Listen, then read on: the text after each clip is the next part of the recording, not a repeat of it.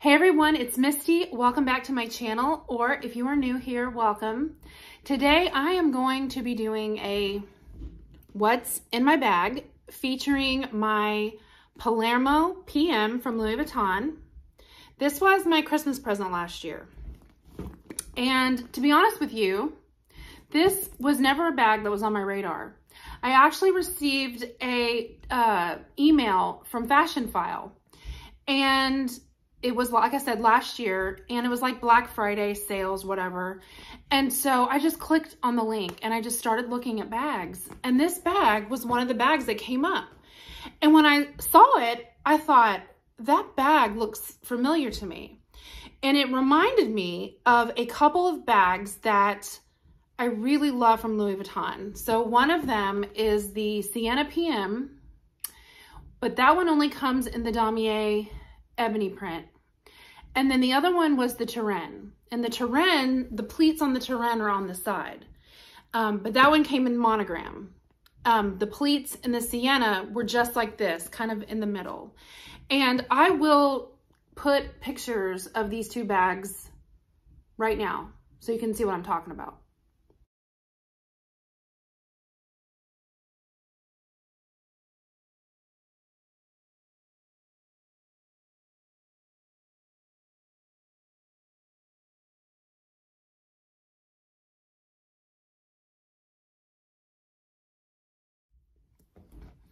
Anyways, those bags are definite were bags that I absolutely loved. But even pre-loved, those bags go for at least 1500 okay? Like, that's like pre-loved. And I think, I'm not 100% sure, but I think that the Turenne and the Sienna might be um, bags that are discontinued now. So when I saw this bag, I immediately was like drawn to it because like I said, it's like a mixture of those two bags.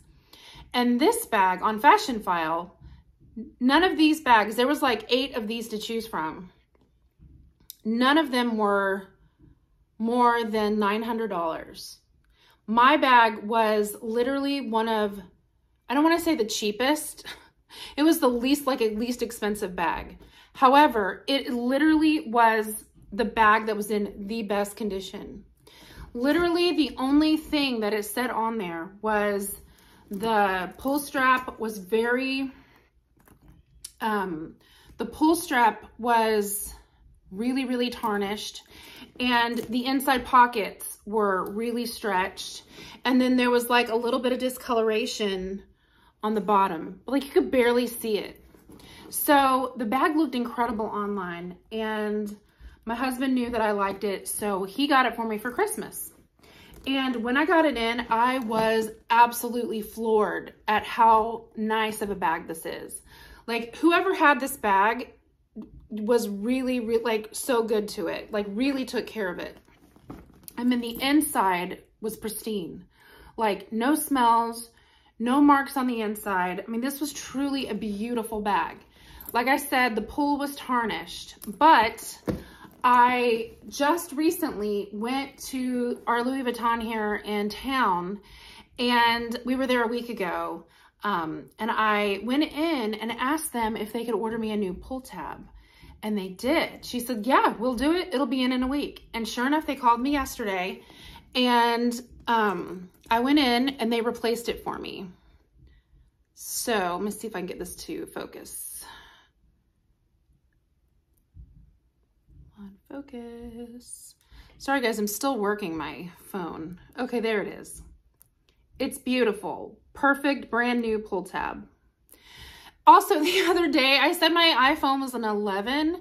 That's not correct. It's a 13 Pro Max. So it's like the latest brand new phone. I love it. I didn't think I wanted a new phone. I have just fought having a new, I had an 8 Plus since my almost 13 year old was a baby. That tells you how long I had that phone. So this is a new phone for me and I think it takes great pictures and the camera's really good. So that's what we're using now. Okay, so I'm gonna do a what's in my bag for you guys and I'm gonna show you what I fit in here because there's a reason for this. I'm actually going to be switching out bags to my Speedy. And this is my classic Speedy 30. And I did a handbag video not, not too long ago, and I talked about this bag, and I'll talk about it, uh, you know, a little bit more in just a minute. But this was, this is like my most sentimental bag. So I'm gonna change into that. And I think what I wanna do is I wanna talk to you about um, how I think that, you know, a lot of these bags, like the Speedies and the Sienna, the Turenne, a lot of the bags like that are going super high. But if you can find a classic, older, um, discontinued bag on Fashionphile, you truly can get a really nice bag and you can get it for way less than a thousand dollars. And I know that sounds like a lot, but like literally, I mean, if you know Louis Vuitton, you know you're going to be spending a lot, even on the pre-loved market because they're not making canvas um, as often. I think they're it's definitely more of a um, you know they're making their items harder to find. So I just feel like the market's gone up. Like the pre-loved market is crazy, but you can always find these really for a good price. Now I will say I looked on another pre-loved market and I did see some of these bags for like 1500 but I really think you can find one for like, ooh, I really think you can find one for a really good price. And the reason why I wanna talk about that and compare it to my Speedy is because I really feel like this is very comparable to say like a Speedy 30, um, but you have the strap. Now, if you're looking for a Speedy 30 on the pre-loved market, you're at least talking $1,500, at least. I mean, they're crazy on the pre-loved market. So just think, you know, if you're really wanting a bag, you don't necessarily, like you can find bags that are very similar with a strap. Um, like I, this is also really cute handheld, just like a Speedy. And I really want a Speedy B um, 30 and I thought, well, I already have a, um, the brown bag. So I kind of want one in monogram. But when I got this bag, it really, really, um, took that like desire for the Speedy away because this is very similar, um, in size. It's got the strap and it's handheld and it's not seen. Like it's a very, very, um, vintage bag, I feel. Not vintage as in like years and like, you know, 30 years old or anything, but like it's just an older bag. I think my bag was from like 2012, if I can remember correctly.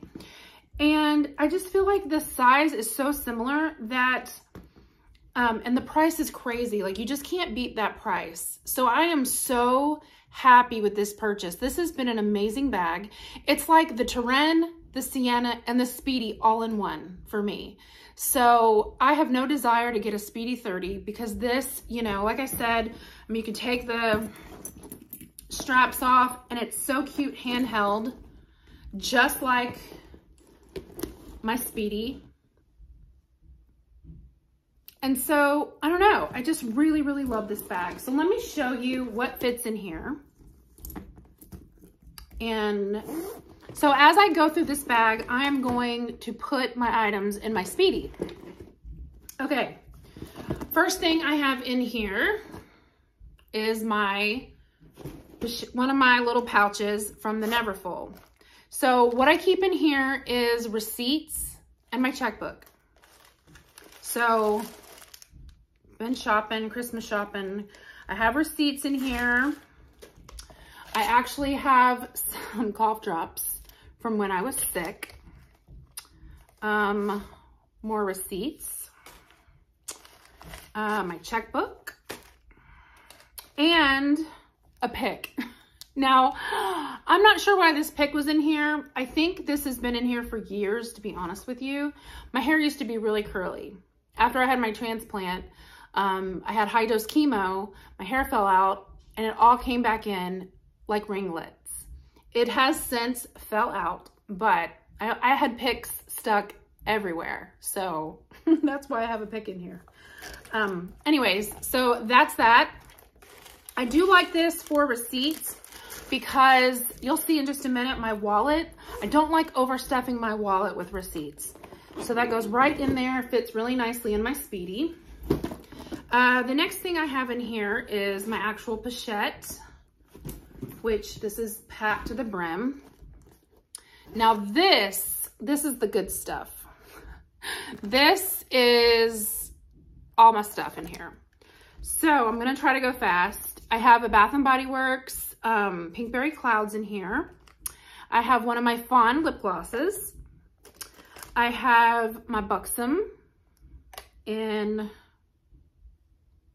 Rose Julep, one of my favorites. I have the um, Sol de Janeiro hand cream, the Boom Boom hand cream, the best, the best smell. I have one of these um, Paw Paw, Dr. Paw Paw. This is a really good lip balm. My lips have been crazy dry. I have a Twisted Peppermint refill, which I don't even know where my car thing is. So that's probably why that's just sitting in here. I have a Tide pen for spills and stuff. I have a little travel perfume. I have a comb. This is like one of those combs that I've had this like for 20 years. So it like folds up. I think it was like from Clinique from like way back in the day. Um, I have a MAC lip gloss in Cosmo. Um, this is, what is this? Oh, Burberry Her Little Travel Spray. I have a Charlotte Tilbury eyeliner. I have a nail file. I have some stomach meds. Uh, this is either Iconic Nude or I can't read it. I can't tell. This is either Iconic Nude or Pillow Talk. I think it's Iconic Nude. Um, Marc Jacobs eyeliner in brown. Another travel pen. And honestly, I'm not sure what's in there. I'd have to sit and smell. I have a contact lens.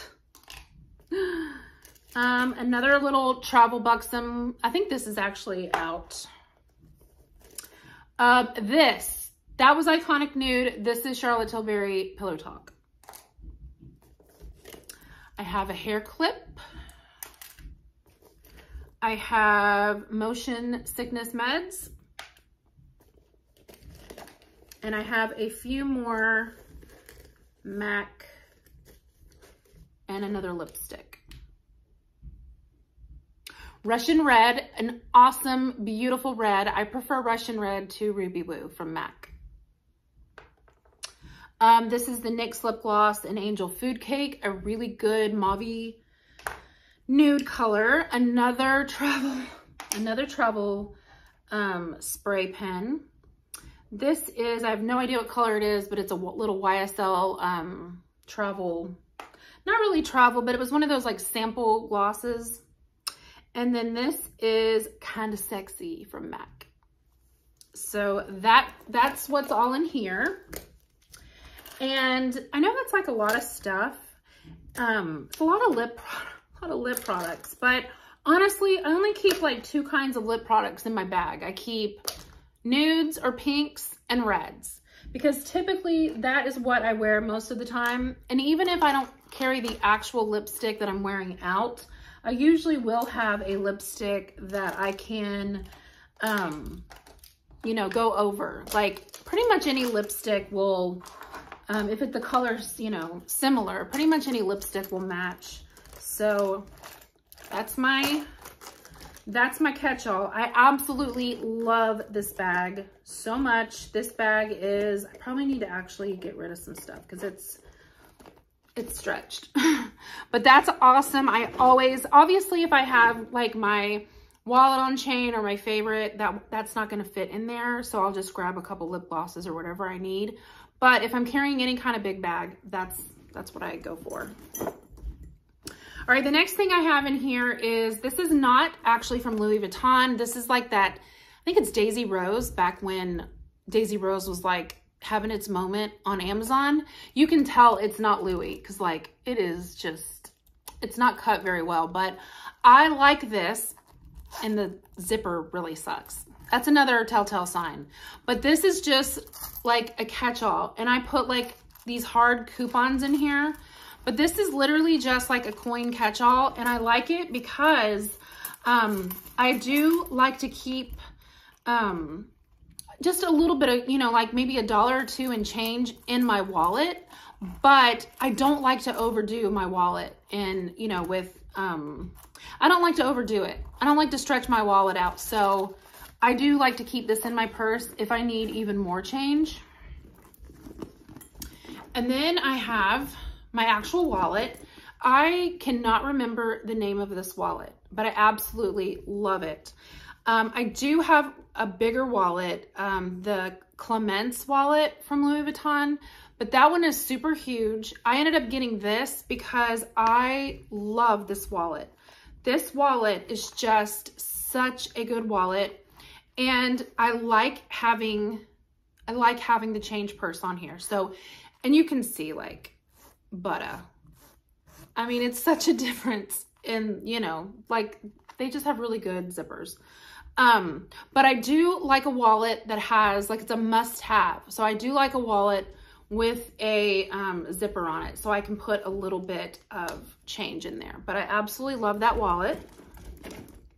We're almost done. I think that's pretty much like all I have in here. Oh, a receipt and a YSL lipstick. I really do try to be careful with my lipsticks though. That's why I keep that catch-all. I do not like lipsticks rolling around in my bag. I have another, uh, another receipt and a straw. So that's it. I do have a um, bag organizer in here because I do like that in this bag. I actually don't keep an organizer in my Speedy because I like it kind of slouchy. I just prefer it slouchy. I know a lot of people like it to look kind of like really boxy, but I don't like that. I love a slouchy Speedy. It just looks so much more like casual and not so I don't know, like dressy or something. I don't know. And I've talked about this bag before. Um, like I said in my bag video, this strap I actually got off of Amazon. And I don't know if you can tell, but like it is spot on with the print. Um, it does have a black back, but that I could not believe I found a matching strap. And honestly, I don't really carry it by the strap very much because, you know, they say it's not good for your bag. But honestly, like that's, my bag's not super heavy with all that in there. And every now and then I do just need to have my hands free. Like if I'm getting out of my car or if I'm in a store and I'm like grabbing a bunch of stuff, that's the only time I'll like really put this on my shoulder. But I absolutely prefer the classic Speedy. I don't like the leather straps on the B. I get why Speedy B is so popular though.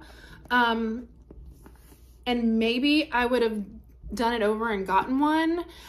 Um, but now I'm glad I don't. I, I'm glad I got the classic because I love just the classic Speedy. Like I just love having a classic Speedy. I think it's the most timeless bag. I don't think it's basic. I think it's timeless. Um, but now that I have this bag, you know, it has the strap on it. So this, like I said, satisfies my urge for um, another Speedy in the in the um, Speedy B because the size is so, so similar. So basically, I wanted to do what's in my bag, but my point was as well, you know, you can find um, a bag that is very similar to like a Speedy or Neverfull. There's so many bags that I've looked at on Fashionphile that are very similar in structure and size to the Speedy or to the Neverfull, but they're way, way less expensive because they're not the popular bags um, and they're not the bags that are, you know, that people are trying to get. So just keep that in mind. Like, you don't have to buy, like, I feel like you can just find such a good um, pre-loved bag if you really look for it. Like you really have to look. And this bag was just an absolute gem. I am so glad I bought that bag. I love it. You heart, like I said, it is so much less popular than a Speedy B.